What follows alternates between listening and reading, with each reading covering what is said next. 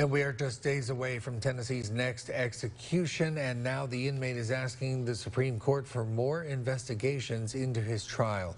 Lee Hall was convicted of killing his girlfriend Traci Crozier in 1993.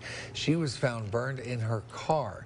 The defense for the 53-year-old claims a juror may have been biased because she was also a victim of abuse. During a hearing a couple of weeks ago, that juror took the stand and said she did not realize the abuse until years after Hall's conviction.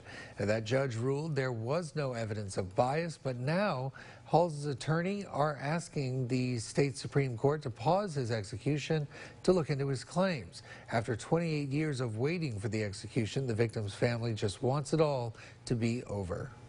It should have happened when he got his sentence that day in court, when they gave him his death by electrocution. And set the date, the first date. That's when it should have happened.